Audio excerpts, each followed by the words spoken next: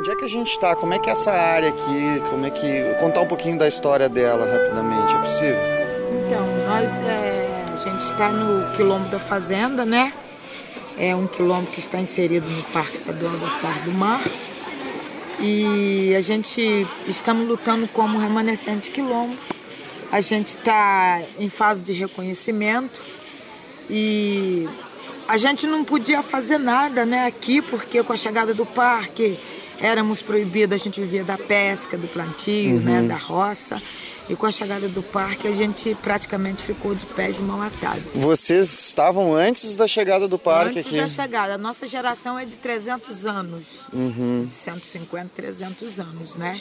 Bem, nossa, muito antes do parque. E aí o parque chega e dá uma dificultada, inclusive. Dificultou no... muito, a gente perdeu a nossa cultura, não, pode, não podia mais plantar, não podia pescar a gente não podia mais construir, muitos jovens foram embora, entendeu? Muitas pessoas saíram do seu local, mas aqueles que continuaram como eu, resistindo, entendeu? E lutando, aí a gente passou para a gente descobriu que éramos remanescentes de quilombo e aí começou toda uma luta que hoje essa luta está com oito anos. Oito anos. Oito anos de luta. Pela né? titulação. Pela titulação. E, ou seja, ele é um quilombo moderno mesmo, né? Sim, na, na, no que isso. significa a palavra quilombo mesmo. Né? Moderno, no que significa a palavra quilombo mesmo. E a, a luta continua, continua hoje. Continua hoje, porque estamos em fase de reconhecimento, nem fomos reconhecidos ainda. Uhum. Estamos em fase, mas através de sermos remanescentes, já melhorou assim 50%. Já foram reconhecidos como remanescentes. É, né? pela Fundação Palmares. Sim, sim. a Palmares Agora já passou. Agora nós estamos na mão do ITESP, uhum. Instituto de Terra, né? Que é da, do estado de do São estado Paulo. de São Paulo. E aí tá na briga para fazer tá, a titulação. A gente assinou o reconhecimento, segundo a Inês, que é do ITESP, que está trabalhando com os quilombola. É, o nosso documento, nosso processo está parado na mesa do secretário. Sim. Nós tivemos que reduzir bastante coisa para poder uhum. Qual o tamanho negócio. da área? A nossa área é de 790 790 hectares. E vocês historicamente já, traba já trabalhavam a exploração sim, da área, sim. Né, o uso sustentável. Sim, falou por... pesca e outras sim, coisas, porque, né? Porque na verdade ah, se eles encontraram uma, uma mata preservada, é nós que estávamos aqui que uhum. preservamos, senão não tinha nada, né? Então a gente, os, os antigos, mais velhos, meus avós, meus pais, eles já tinham toda essa prática de manejo, eles conheciam tudo. Apesar uhum. de ser analfabeto, eles tinham uma sabedoria incrível, porque tudo eles faziam com manejo. Se eles iam caçar, eles não matavam a caça na época da cria, o peixe a mesma coisa. Se eles iam pegar cipó para fazer artesanato, eles manejavam tudo isso, que eles falavam que tem a tal da mãe, né? O cipó mãe. Sim. Esse não podia cortar, porque se cortasse matava. Então eles tinham essa sabedoria, entendeu? E aí o parque chegou e coloca a gente como destruidores. Nós não somos destruidores de maneira nenhuma. A gente é que preservava uhum. mesmo. Pois é, como é que fica isso? Você ser considerado destruidores, trabalhando durante muito tempo nessa terra, fazendo a preservação dela, estando de um lado de duas praias em Sim. que a especulação imobiliária, Exatamente. além de poluir a, o mar, né, Sim. destrói vertiginosamente as matas no entorno. É, Deve ser estranho, verdade, né? É verdade. É isso que a gente fica até chateado, né? Quando é taxado como destruidor. A gente fica bravo mesmo, entendeu? É porque... porque o que nós fizemos, sempre fizemos até então, foi preservar e não destruir. E como é que está sendo essa coisa da, da Jussara, a Palmeira Jussara? Como é que entra na cultura de vocês agora? Ela é mais recentemente, esse conhecimento, ou ele já é antigo? Sim, a, o, o Palmito Jussara, ele é um projeto de, assim, para mim de três anos, né? Uhum. Foi quando me convidaram para participar de um curso Uhum. na Caçandoca e eu fui participar desse curso.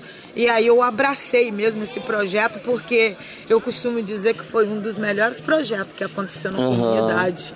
Porque até então o palmito está em extinção, povo cortava clandestinamente. Hoje a gente não precisa mais cortar palmeira, né? Até para o meio sustentável.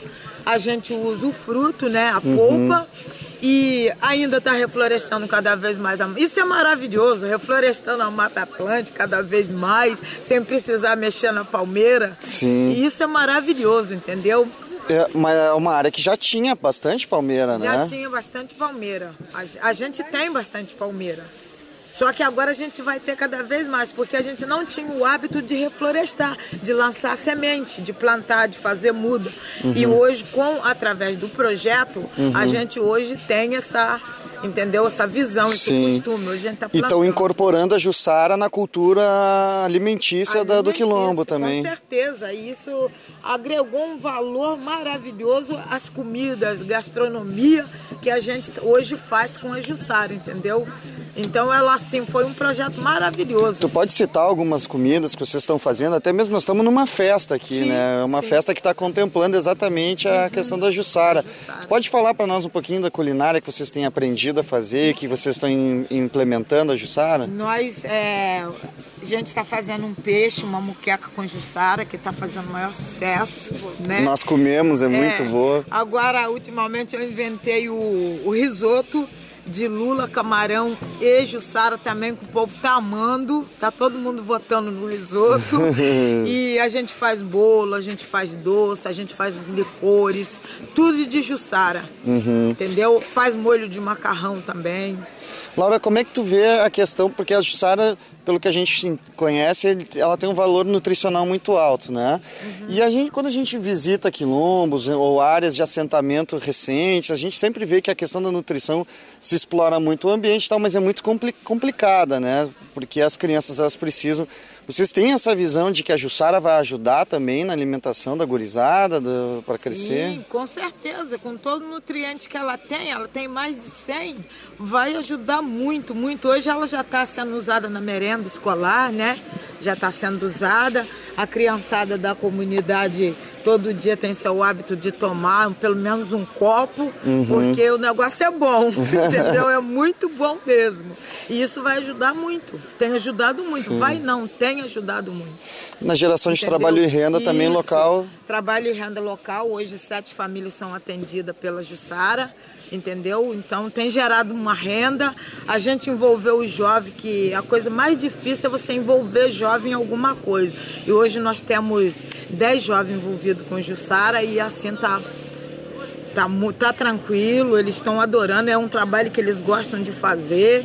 E a perspectiva de futuro é muito boa, é então. É muito boa, muito Vocês boa. apostam bastante nisso. Sim, com certeza, mesmo porque nós vamos ter uma cozinha industrial e a ideia dessa cozinha industrial é estar tá, é, fazendo mesmo todos os produtos com Jussara para estar tá vendendo mesmo, comercializando mesmo, entendeu? Então a uhum. gente vai ter que ter muita.